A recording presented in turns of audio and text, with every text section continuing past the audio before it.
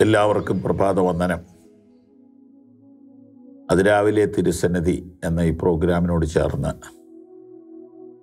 വചനപ്രഭാതവും ധ്യാനിക്കാൻ ദൈവം തരുന്ന അവസരം അനുഗ്രഹമായി പലരും എന്നെ വിളിച്ചു പറഞ്ഞു. ഒരിരിപ്പിൽ എല്ലാം കൂടെ കിട്ടുന്നത് വലിയൊരു ഉപകാരമാണ്. ഞങ്ങളുടെ പ്രഭാതം ആരംഭിക്കുന്നത് ഇങ്ങനെയാണെന്നൊക്കെ പറഞ്ഞു. സന്തോഷമുണ്ട്. ദൈവം അനുഗ്രഹിക്കട്ടെ. സദൃശവാക്യങ്ങൾ ഇരുപതിന്റെ ആറ്. മിക്ക മനുഷ്യരും തങ്ങളോട് ദയാലുവായ ഒരുത്തനെ കാണും.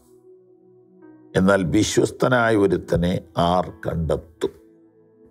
ഇത് ഒരല്പം വ്യത്യസ്തമായ വായന ആവശ്യമായിരിക്കുന്നു. പലരും തങ്ങൾ വിശ്വസ്തരെന്ന് പ്രഖ്യാപിക്കാറുണ്ട്. എന്നാൽ വിശ്വസ്തനായ ഒരുവനെ കണ്ടെത്താൻ പ്രയാസമാണ്. ആർ കണ്ടെത്തും? പിടികിട്ടിയോ? നമ്മൾ ആദ്യം വായിച്ചത് ഇങ്ങനെയാണ്. മിക്ക മനുഷ്യരും തങ്ങളോട് ദയാലുവായ ഒരുത്തനെ കാണും. എന്നാൽ വിശ്വസ്തനെ ആര് കണ്ടെത്തുമെന്ന് ഒരു ചെറിയതായിട്ടൊരു തിരുത്തുണ്ട്. ഒത്തിരി പേര് തങ്ങൾ വിശ്വസ്തരാണെന്ന് അഭിനയിക്കും. പക്ഷെ യഥാർത്ഥ വിശ്വസ്തനെ കണ്ടെത്തണം ഇച്ചിരി പാടാന്നാണ് ശുദ്ധ മലയാളം. ഞാൻ ഇംഗ്ലീഷ് നോക്കിയപ്പോൾ അത് തന്നെയാണ് കറക്റ്റ് ഇംഗ്ലീഷ് പറയുന്നതും ഒന്ന് നോക്കാം.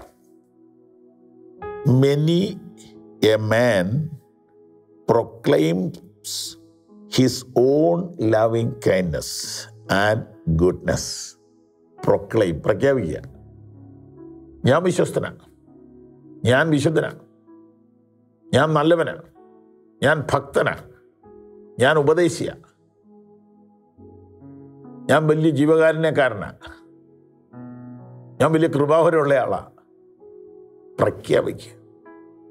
I am a prophet I am a healer പ്രഖ്യാപിക്കുന്നവരുണ്ടെങ്കിൽ അവരെ വിശ്വസിക്കരുത്.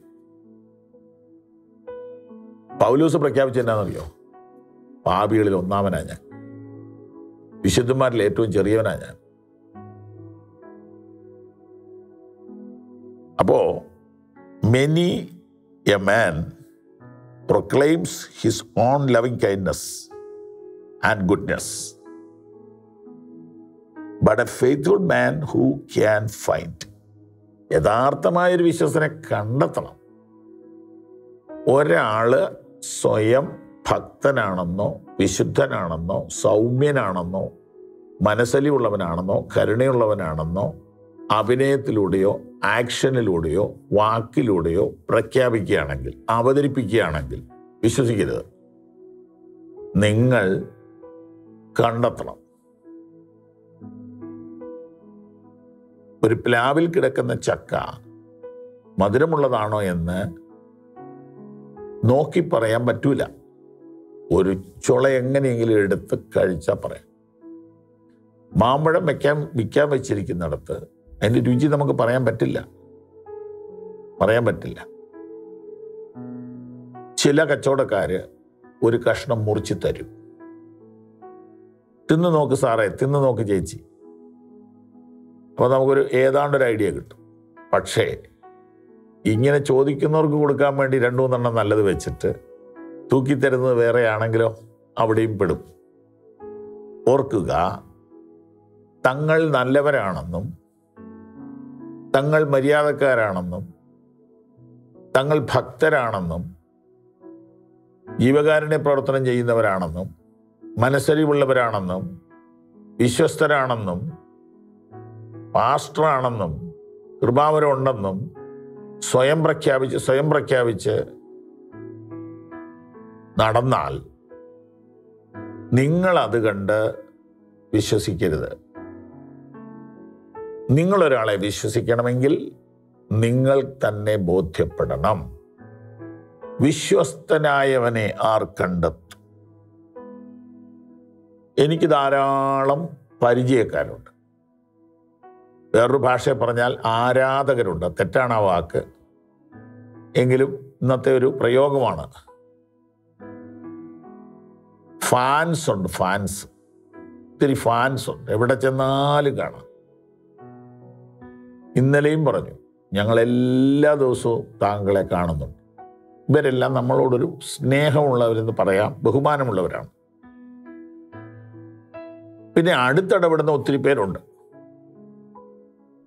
അവർ നമ്മളെ ഹെൽപ്പ് ചെയ്യാൻ തയ്യാറാണ്. പലതിനും തയ്യാറാണ്. എന്നാൽ ഇതിനകത്ത് വിശ്വസ്തരുണ്ട്. നമുക്കൊരു വിഷമം വരുമ്പോൾ നമ്മളൊന്ന് ഫോൺ വിളിച്ച് നമ്മുടെ ശബ്ദം കേട്ടാൽ അവർ ഓടിയെത്തും അവരറിയും. പറയണ്ട അറിഞ്ഞ് സഹായിക്കും. എന്നാൽ ചിലർ ഫോൺ വിളിച്ചാൽ എടുക്കത്തില്ല. എന്നിട്ട് കിട്ടിയില്ലായിരുന്നു എന്ന് പറയും സൈലന്റ് ആയിരുന്നെന്ന് പറയും തിരിച്ചു വിളിക്കുകയില്ല. അവർക്ക് അവരുടെ കാര്യസാധ്യത്തിന് വേണ്ടിയുള്ള സ്നേഹമേ ഉള്ളൂ. വിശ്വസ്തർ കുറവാണെന്ന് ബൈബിളിൽ എഴുതിയിരിക്കും ഞാനത് വളരെ വ്യക്തമായിട്ട് മനസ്സിലാക്കി മനസ്സിലാക്കി വരികയാ വൈകിയാണ് മനസ്സിലാക്കിയത്. വിശ്വസ്തരല്ല പലരും. പിന്നെന്ത് ചെയ്യുക അഭിനയിക്കുക. വിശ്വസ്തരെ കണ്ടെത്തണം. ആരെയും വെറുക്കരുത്. God bless you.